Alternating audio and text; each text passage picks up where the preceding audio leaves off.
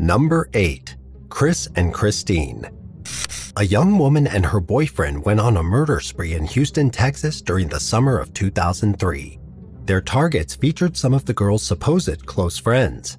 17 year old Christine Paolilla and her older boyfriend Chris Snyder killed four young adults on July 18th. While growing up, Christine had a very rough childhood. At an early age, her drug addict father died, and not long after, she was diagnosed with a condition that makes it difficult to grow any body hair alopecia. Along with this, in school she was constantly teased by kids who would pull off her wigs and make fun of the way she looked. However, things changed in high school. For some reason Christine didn't fully understand, two of the most popular girls at her high school befriended her. Before long, she had a makeover and was also among the it crowd.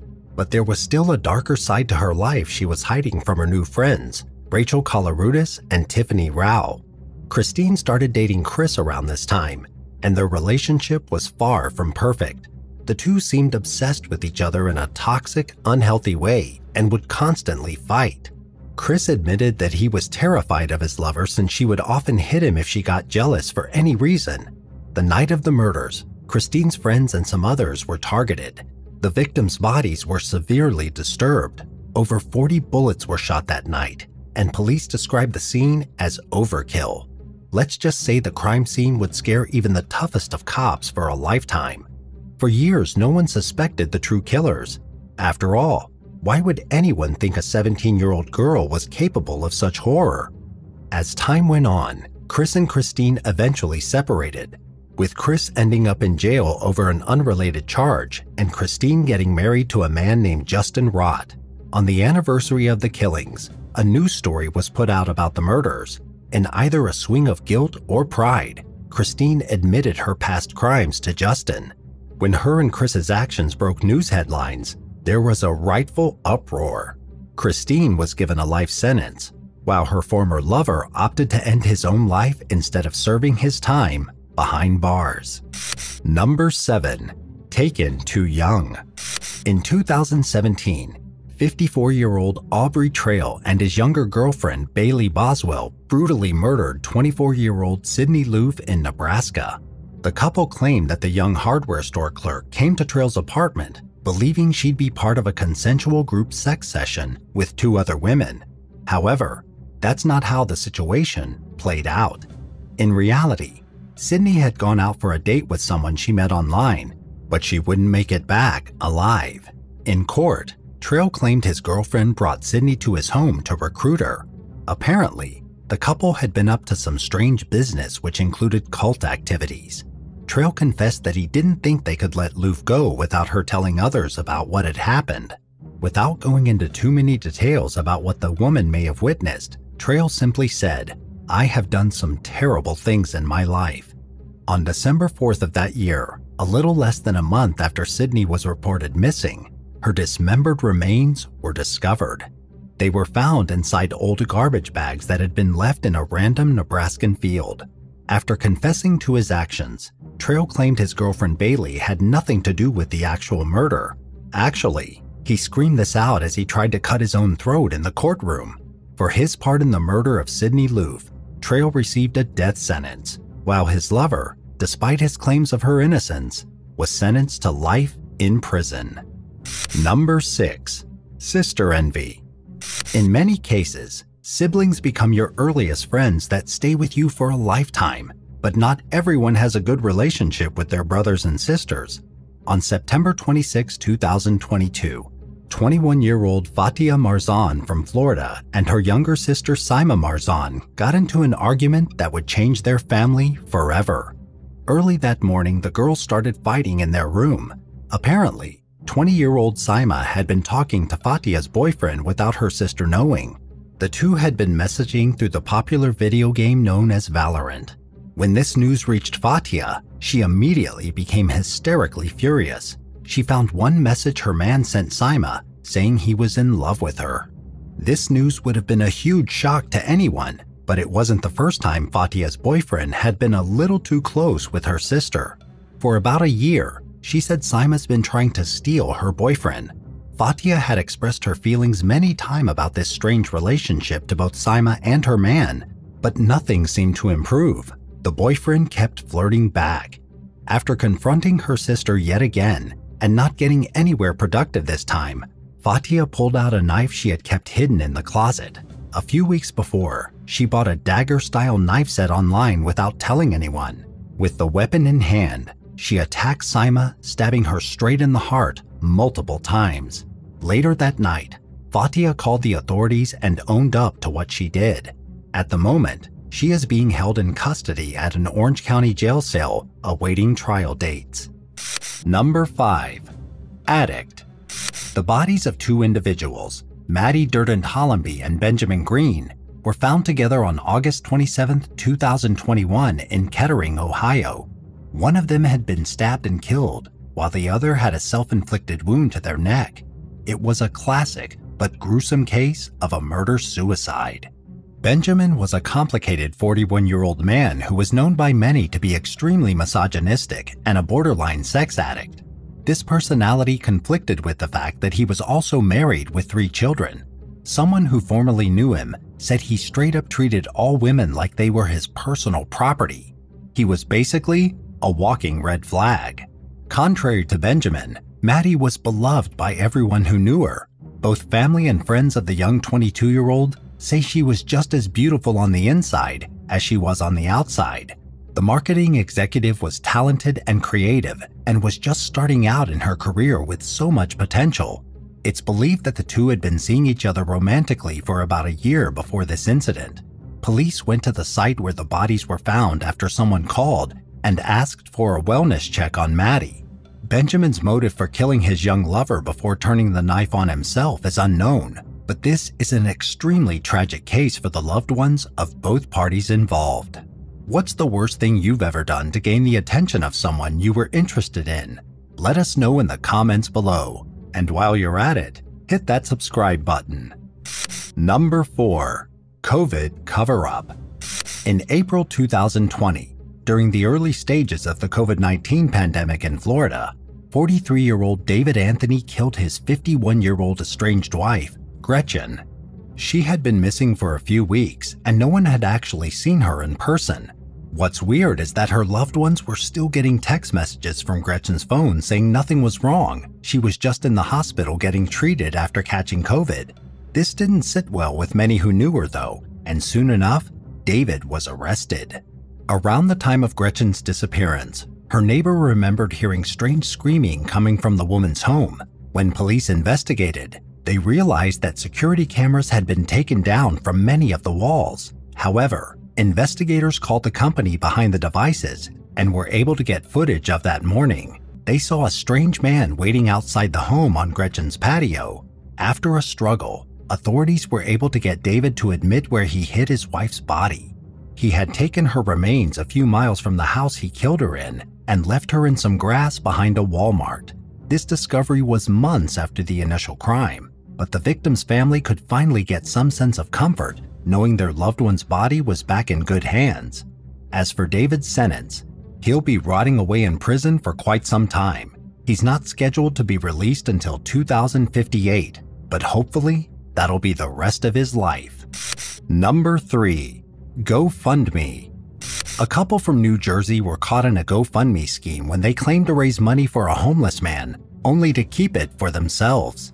In the past few years, videos online featuring selfless acts of philanthropy have gone viral, whether it's the insane acts done by popular YouTuber Mr. Beast, where he throws millions of dollars into helping others, or the simpler content of someone being a good Samaritan and paying for another's groceries, you've likely seen it done. Many praise these acts of service, while others think it's strange and selfish to put those in need on film for views and admiration. In 2018, one couple was put on blast after allegedly trying to help a homeless man get some extra cash. Mark D'Amico and Caitlin McClure from New Jersey were accused of stealing over $400,000 out of GoFundMe donations. Johnny Bobbitt was homeless when he gave his last bit of cash to Caitlin when her vehicle ran out of gas while she was driving on the highway. After news of this selfless act got out, the story went viral online and across many platforms, With all this attention, Caitlin and Mark decided to set up a donation page to pay Johnny back for what he did.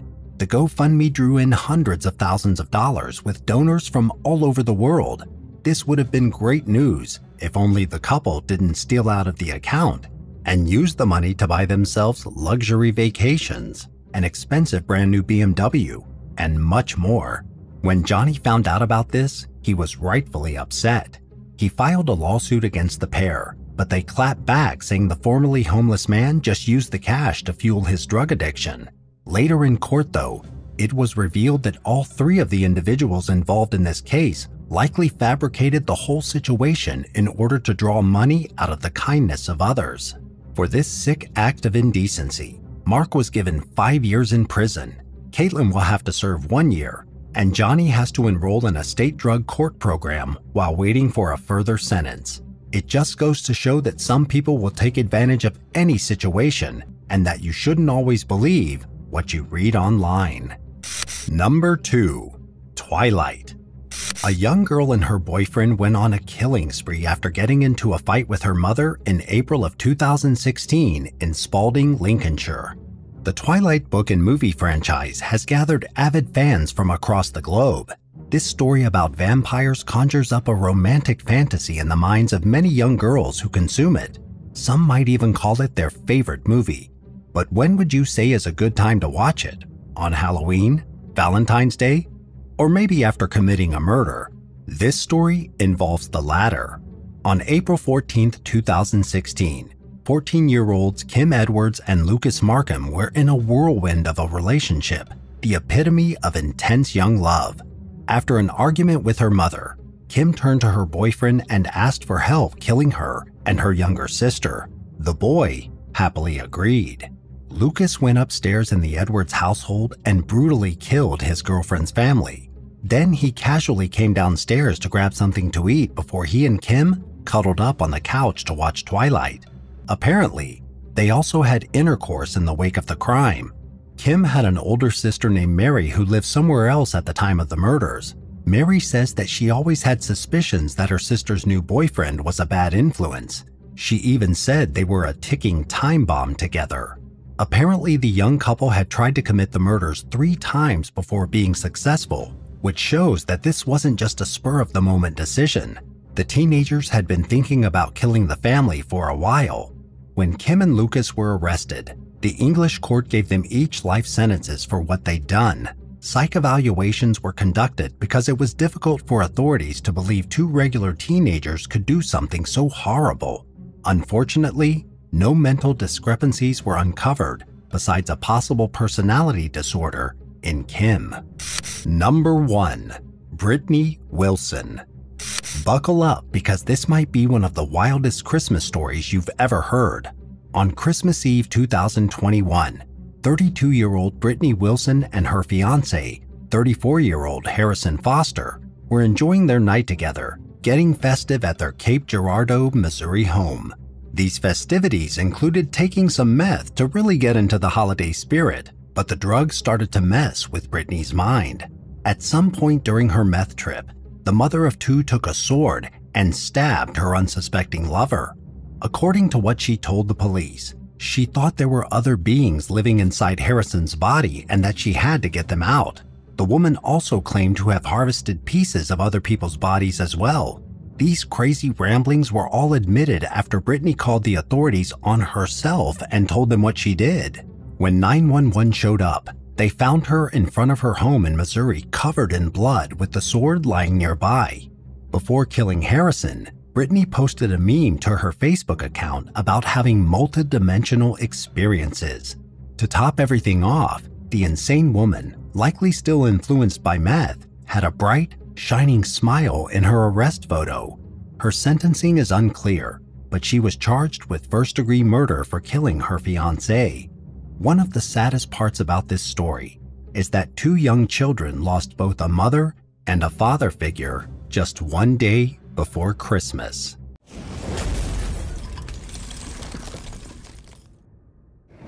Number 10, Aaron Guerrero and Sierra Halseth. In April 2021, a 16 year old girl, Sierra Halseth, and her 18 year old boyfriend, Aaron Guerrero, were arrested for killing her father in Las Vegas.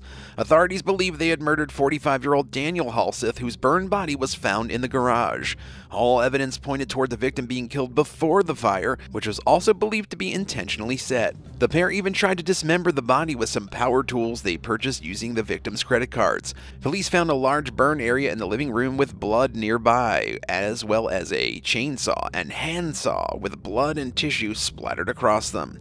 The coroner examined the dead body and ruled that Daniel died from sharp force injuries. It didn't take long for cops to track the teens down using surveillance footage that showed them leaving in the father's vehicle. Investigators later found out that while the two were dating, they were forbidden from seeing each other because they planned to steal money from their parents and run off together into the sunset. The couple didn't accept this fate, so they decided to murder Daniel in cold blood. Perhaps the most disturbing evidence surfaced a couple of months later when a cell phone video showed the two laughing about murdering somebody and having lots of sex near the crime scene. They recorded this while still on the run from police. In May 2022, the teens pleaded guilty to nine counts, including murder, arson, and robbery. While the two have not been sentenced, they could spend the rest of their lives in prison, and deservedly so. Number 9, Evelyn Gainza and Demar Terueus. In September 18, an 18-year-old Miami woman named Evelyn Gainza allegedly murdered her own father Evelio over a dispute revolving money. She then tried to stage a home invasion with her 19 year old boyfriend Demar Teruelis and use another man as a cover up. At first, they believed Demar was the one who pulled the trigger, but later they debunked this theory when Demar himself turned on his girlfriend and agreed to testify against her for a better sentence. He pleaded guilty to being an accessory to murder after the fact and will spend five years behind bars with 10 years probation once he gets out. According to Demar, Evelyn's father spoiled her, but she wasn't grateful at all. She didn't care about studying often smoked pot, and was usually found hanging out with the wrong crowd. At one point, she even hit her father with a baseball bat while he was sleeping on the couch. Instead of turning his daughter in, Evelio sent her daughter for a psychiatric evaluation and just wanted her to do better. After getting released from the hospital, she spent a few months with DeMar in Lehigh Acres, but eventually came back to Miami. She believed that her father had been collecting government assistance payments because she was a minor and that she should have gotten the money instead. When Evelio refused to hand his daughter the cash, she got out a gun and shot him in the back multiple times until he was dead. Number 8. Benjamin O'Shea and Naomi Johnson.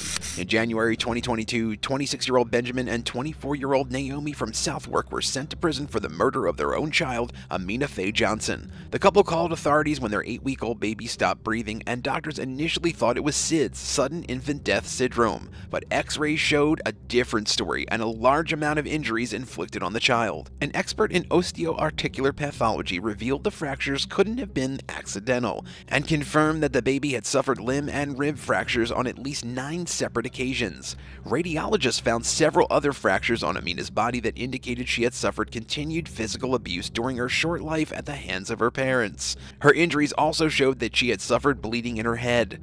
The couple was found guilty in November 2021 of, quote, causing or allowing a child to suffer serious physical harm. Benjamin was sentenced to eight and a half years in prison, while Naomi got seven. After getting arrested, the pair tried to blame their daughter's death on a visit to the doctor and claimed that paramedics were responsible for the child's injuries. The judge, who was present at their sentencing in the Inner London Crown Court, stated that this case had the highest seriousness in terms of cruelty towards a child that they'd ever dealt with.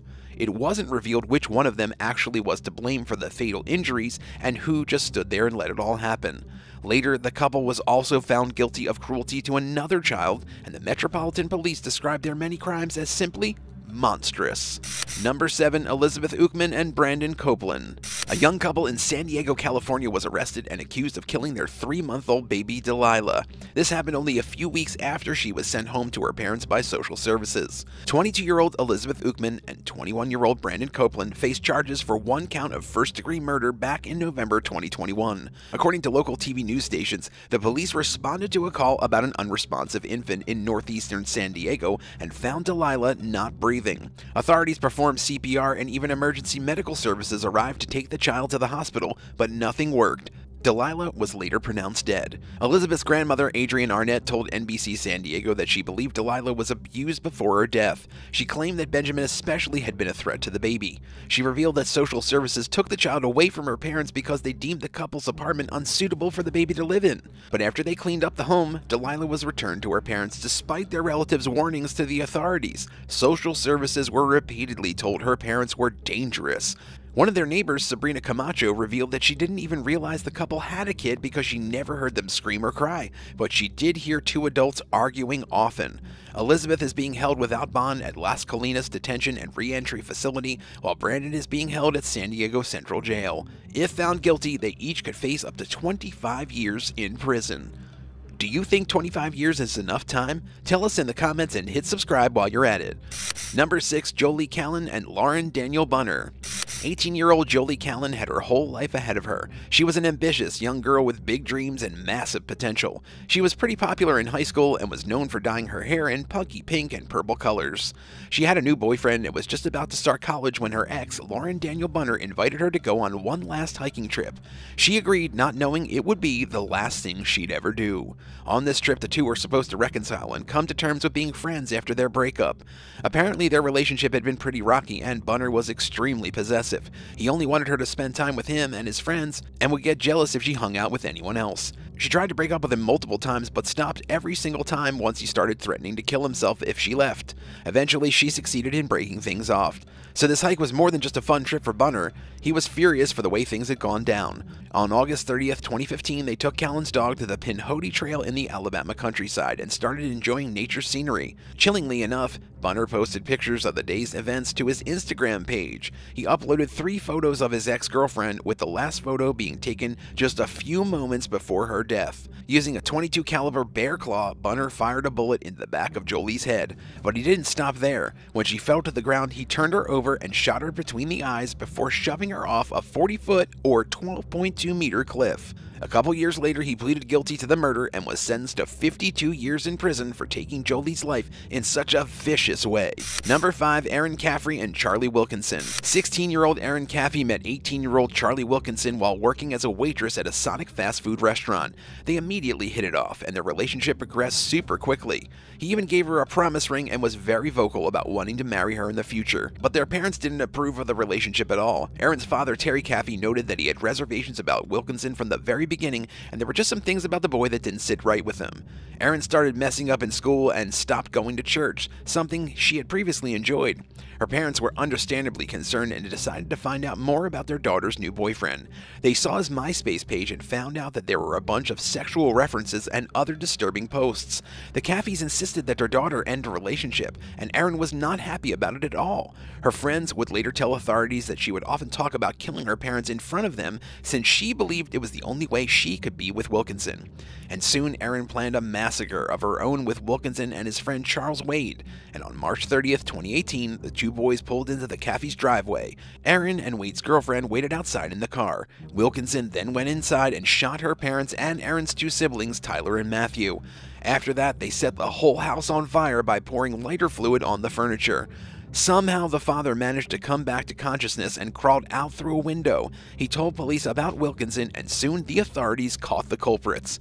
Wilkinson, Wade, and Erin were all given life sentences. Number 4. Ellen Rose Fryer and Gavin McFarland. Erin Rose Fryer was only 15 when she got into a relationship with 19-year-old Gavin Curtis McFarland. Unsurprisingly, her father Aaron was not happy about this at all since he thought the age difference was inappropriate. Ellen didn't take kindly to this reaction, so she planned the murder of her father with her boyfriend and 22-year-old Russell Pierce Jones II. And they killed her father in the most gruesome way imaginable. One morning in October 2017, poor Aaron was beaten to death in his own home in Oregon. Then the trio loaded his body into a car and dumped it. It didn't take long for police to figure out what happened and soon they arrested Gavin and Ellen. In January 2019, she pled guilty to conspiring to murder her father and a few months later was sentenced to 25 years in prison. Because Gavin was an adult, he was found guilty of homicide and was given a life sentence. Ellen told the court that while she can't erase the past, she's since found religion and forgiveness and can now see humanity from a new compassionate perspective. Until she's 25, she'll spend her time in a juvenile facility before getting transferred to a women's correctional institute to carry out the remainder of her sentence. Number 3, Joshua Mabane and Linda Berry. Joshua and Linda had been dating for less than a week when the two 17 year olds got a taxi in Northeast Washington, D.C. with the intention of robbing their driver, Mohammed Quadir. Joshua made Quadir drive them to a local school in the area, and after they arrived, he shot the driver in the back of the head. After this, the car started accelerating and then crashed into a tree. Police would later find the vehicle burning with Mohammed's dead body still inside. The couple was also extremely careless after carrying out the murder. Linda allegedly told someone that they'd robbed a cab driver, and this person gave the tip to cops after looking up the story online about the incident. She also told someone else that she had killed a cab driver with her boyfriend and even showed them a bruise she received from the accident. The suspect's homes were then searched, and authorities found a bunch of evidence from Joshua. He was hiding a black handgun, ammunition, and even hotel receipts from the area near the murder. There was also a note in Linda's home that said they shouldn't have taken the dude's money money. The pair were found guilty and were sentenced to 45 years in prison. Co-workers described Muhammad as a nice person who was very serious about his work. He never got into any trouble and kept his nose clean. All it took was two snot-nosed kids to end a decent man's life. Number 2, Justine Winter and Brian Langford. On August 16, 2011 in Montana, 16-year-old Justine Winter got into a terrible argument with her boyfriend Brian Langford. She felt so horrible that she wanted to take her own life and decided to use her car as the weapon of choice. Justine just wanted the pain to end. She was driving at over 80 miles per hour, or just about 130 kilometers per hour, and crashed headfirst into another car. That vehicle belonged to a 34 year old pregnant woman named Erin who had her 13 year old son with her. They all died after impact. Justine herself survived but sustained brain damage and other injuries and was forced to go through a bunch of surgeries. Initially, she tried to convince everyone the accident was Erin's fault, but soon authorities found out her story had too many loopholes. They discovered that she was texting her boyfriend only minutes before the crash and even told him she was going to try and kill herself by wrecking the car. A couple years later, she was charged as an adult and convicted of deliberate homicide. At first, she was sentenced to over 30 years in prison, but later the judge reduced her sentence by half. Then in 2015, Justine was placed under parole due to good behavior, and she's now walking as a free woman. Number 1, Frank DeLeon Jr. and Diamond Alvarez. In January 2022, a 15 year old girl named Diamond was meeting her boyfriend Frank to confront him for cheating on her. According to the Houston Police Department, Frank did not take this well at all and shot her 22 times in the back. Diamond's family heard the gunshots and quickly ran out to try and help her. They were alarmed after seeing her dog Peanut alone and knew something was wrong. When they found her body, her mother attempted CPR to bring her back to life, but at that point, it was too late. Paramedics declared Diamond dead at the scene, and just like that, a wonderful young girl's life was over in an instant. As for the culprit, he tried to flee from justice, and when the cops found him, he literally had suitcases and clothes on his bed. He was charged with murder but soon walked free after his family posted $250,000 bond. Understandably, the victim's loved ones were furious over this and wanted Frank to be in custody. They even carried out protests and argued the culprit was a flight risk since he had been previously caught trying to escape. A few months later, he was arrested again for violating his curfew's rules and is currently back in prison serving time. If convicted, he's expected to get a life sentence for the murder.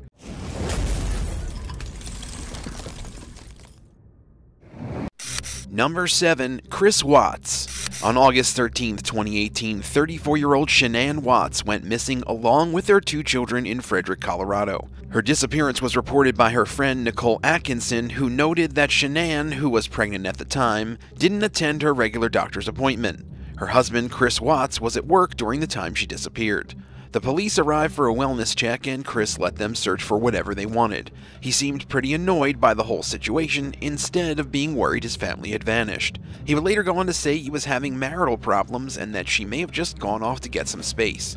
He gave his own version of what happened between the two, although his story changed multiple times over the coming days. The FBI and their Colorado affiliate formally started investigating the matter. While looking, they found out Watts had been ignoring Shanann for a while in their relationship. The two were rarely ever intimate, and they also found out he was having an affair, which is a big red flag. Chris quickly became a suspect in the case, and eventually, on August 15th, around two days after the disappearance, he failed a polygraph test and was arrested shortly after. By now, he wasn't just a suspect in the case, but the prime one. All the prosecution needed was a confession, and they got exactly that when Chris told them he'd tell the truth if his father heard it first. Eventually, on August 21, 2018, the police arranged a meeting between Chris and his father. They told the dad to press Chris into confessing, and it was a success. Chris revealed with apathy that he murdered Shanann and his two children and dismembered them, burying them in the Anadarko petroleum site in an oil tanker.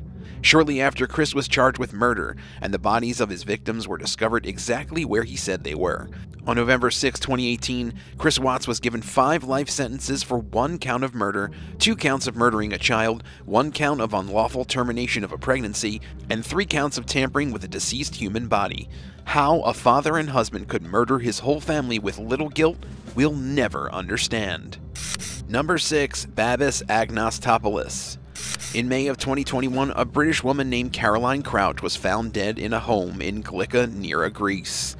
Carolyn was married to Babis Anagnostopoulos, a Greek man who was 13 years older than her. Babis reported around three armed burglars had broken into their house that day, and during the incident, Caroline was tragically killed. He said the men killed their dog first, and then they tied him to a chair. He added that they forced him and his 11 month old child to watch Carolyn get strangled to death before they robbed the house. Babis told the police he was able to reach them by dialing the emergency number with his nose, but once the police carried out an investigation of the murder, they found phone activity on Babis's phone during the time he was supposed to be tied up. The timeline also seemed off, since Carolyn was moving around and had low stress levels, according to her smartwatch, when she should have been dead. After figuring this out, police called Babis over to Athens for further questioning, and as soon as he arrived, they placed him under arrest as the prime suspect. They interrogated him for eight grueling hours, and while the exact details of what happened during the interrogation are unknown, they managed to get a confession. By June 22nd, Babis had spent over a month behind bars and was set to give his testimony in court. He was escorted by armed guards and wore a bulletproof vest when arriving at the courthouse, all while avoiding protesters outside the courthouse as well. He confessed to all of the crimes, including strangling and murdering his wife. He revealed that he had gotten into a heated argument with Carolyn, which led to the killing. The robbery story was completely made up, and he claimed the murder wasn't premeditated. He had only killed her in, quote, the heat of the moment, although that still doesn't explain why he hanged their eight month old dog. With all the evidence and a confession, Babis has been charged with murder, animal abuse, and child endangerment, among other minor charges. If he's convicted of all of these, as he's expected to be, he will be sentenced to life imprisonment. Hopefully, a life behind bars will be enough to keep such a sick man at bay. Do you think Babis got what he deserved? Let us know your thoughts in the comments down below, and if you're liking this video, be sure to hit the thumbs up and subscribe buttons if you haven't already. Number 5. Michael Peterson On December 9, 2001, a 58-year-old man from North Carolina named Michael Peterson called 911 and told them that his wife, 48-year-old Kathleen Peterson, fell down the stairs. He said she had been drunk before the fall, and by the time emergency services arrived, she was already dead. While the incident was initially treated as an accidental death, the police were suspicious of Michael from the very beginning. Autopsy results showed that Kathleen suffered a number of injuries from the fall, but in order to die, she would have had to lie there unattended for over two hours. Considering the incident happened in their home, it would have been nearly impossible for Michael not to have noticed and saved her life before she died. On top of that, investigators hired a medical examiner named Deborah Radisch, who further examined Kathleen's body. Numerous lacerations were found on Kathleen's scalp caused by repeated blows from some kind of weapon, not by a fall, and she believed it to be the true cause of Kathleen's death. On December 20th, Michael was indicted by the Durham County Grand Jury for first degree murder charges. He had already hired a defense attorney long before being indicted, and he surrendered to the Durham police not long after. Throughout the trial, Michael maintained his innocence. It was up to the prosecution to prove the death wasn't accidental, and that Michael had been behind the whole incident. On April 14, 2003, Kathleen's body was exhumed from her grave, and further investigation showed she died from blunt force trauma to the head. Around the same time, the prosecution discovered Michael had an ex girlfriend during the 1980s in Gräfenhausen, Germany, named Elizabeth Ratliff. She had also died in the same exact way, with Michael finding her body at the bottom of a staircase. At that point, the prosecution felt they had everything they needed, and on October 10, 2003, the verdict was announced. Michael was sentenced to life in prison for the first degree murder of his wife, Kathleen Peterson. Number 4. Jamila M'Barek. On November 3, 2004, Anthony Ashley Cooper, a British royal and the 10th Earl of Shaftesbury, disappeared without a trace in France. He arrived in the city of Nice to have a meeting with his estranged wife Jamila M'Barek, but as he was about to leave, he vanished. Soon after, he was reported missing by his girlfriend, Orshay, around 12 days later in London, and on November 22nd, an official inquiry was opened in Nice. Initially, fingers were pointed at Russian or African mobsters who might have tried to steal the Earl's wealth, and many suspected he could have been kidnapped. But after a month, the case was treated as a murder since no trace of the Earl had been found. The one person who was barely even questioned during the ordeal was Jamila M'Barek, the estranged wife. Around February 2005, Jamila suffered a mental breakdown and had to be admitted to a mental institute. It was there that Jamila confessed to her involvement in her husband's murder. When the police were called, she told them her brother had gotten into a fight with the Earl and that he ended up killing him during the argument. She was arrested shortly after on February 25th, and her brother was arrested one day later in Germany. She told police that her brother had dumped Anthony's body into the trunk of a BMW and buried it at an unknown location. The body was eventually discovered in 2005. During the trial, the prosecution discovered that a week before the incident, Jamila transferred over 150,000 pounds, or just over 203,000 US dollars, into her brother's bank account. They tried to argue this was some sort of payment for a quote hit on the Earl of Shaftesbury. Eventually, the prosecution got their hands on a secretly recorded phone conversation between Jamila and her sister Naima. The call showed Jamila discussing the money she would pay her brother and how she put all the blame on him. On May 25, 2007, Jamila and her brother were sentenced to 25 years in prison each. Who knows what other dark secrets the Royals have? Number 3. Amy Archer Gilligan. Amy Archer Gilligan owned one of America's first nursing homes, and she also happened to be a serial killer. From 1907 to 1917, she owned the Archer Home for the Elderly and Infirm, where she lived with many tenants. She started the home with her first husband, James Archer. James died of natural causes in 1910, but just a few weeks before he died, Amy took out an insurance policy on him, which doesn't sound suspicious at all. She later married Michael in 1913, who died three months later due to severe indigestion, but not before he left everything he owned to Amy in his will. Amy was now extremely wealthy and the sole owner of the nursing home. Between 1911 and 1916, 48 residents at Archer Home died. Even some of the healthy patients, including Franklin R. Andrews, who seemed fine a day before his death, but somehow came down with a case of gastric ulcers. After Andrews' death, his relatives decided to do some digging. Apparently, Andrews loaned some money to Amy shortly before his death.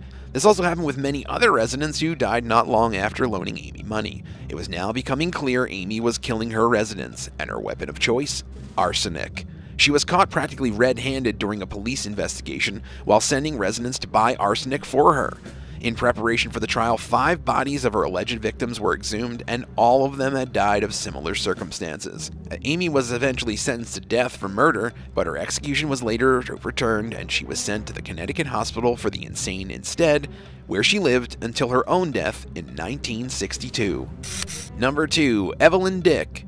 Evelyn Dick was a Canadian woman from Hamilton, Ontario, who didn't have the best relationship with her husband, John Dick. In March of 1956, John went missing until a group of five children came across a dismembered human torso just sitting in the middle of a field. It was later revealed to be John's. Evelyn was arrested for the disappearance, but when the trial happened, she was acquitted and let go. Just as she was about to walk free, though without a care in the world, another body was found in her home. Only this time, it was her son's. The body was found inside of a suitcase in the attic. And she was once again arrested and, this time, thankfully, convicted for the murder of her son. She was sentenced to life in prison but only served 11 years before her parole in 1958. In 1985, now 65 years old, Evelyn was officially pardoned and given a brand new identity. What happened to her since then remains unknown, and she still might be alive today, living among us all as a free woman with a dark secret. It's strange to think that someone who brutally took the lives of two people so close to her could get off with such a tame punishment. Number 1. Matt Baker on April 8, 2006, Matt Baker, a minister at Crossroads Baptist Church in Waco, Texas, called 911 after he discovered the body of his wife Carrie when he got home from work. When paramedics arrived, they were unable to revive her. The death was initially ruled as a suicide by overdose. Carrie became depressed after the death of their daughter seven years before, and considering Carrie's death took place around the anniversary of her daughter's death, it made sense that Carrie chose to end her life right there and then. But something still seemed off. Carrie's parents weren't willing to accept that their daughter ended her life. Carrie's mother, Linda, accused the husband Matt of hitting on young women behind Carrie's back. On top of this, Linda had added Matt and Carrie's cell phone number to her phone plan, and it was revealed after Carrie's death that Matt kept making calls to her phone for weeks. An investigation showed Matt had given Carrie's cell phone to a woman named Vanessa who went to the same church. The investigation into Carrie's death was reopened with this new discovery, although when her body was exhumed, the cause of death still remained unclear. Prosecutors now believe Baker drugged his wife instead of her committing suicide. He could have done this to hide his relationship with Vanessa. During the trial, the prosecution ended up calling Vanessa to testify. Before the trial, Vanessa denied even knowing Baker personally, but during questioning, she confessed to everything. She stated that they started their affair in 2005 and around 2006, Baker planned to divorce his wife Carrie. She then revealed Matt had planned to drug his wife by giving her a powerful Ambien dose, saying it would enhance her sexual performance. She said that Baker revealed he waited for Carrie to sleep before suffocating her with a pillow. In January of 2010, Matt was found guilty of murdering his wife Carrie Baker and was sentenced to 65 years in prison. Not exactly the typical behavior for a minister. Thanks for watching. Which of these stories shocked you the most? Do you know any others? Let us know in the comments below and don't forget to subscribe for more videos like these. See you next time on The Bad Badger.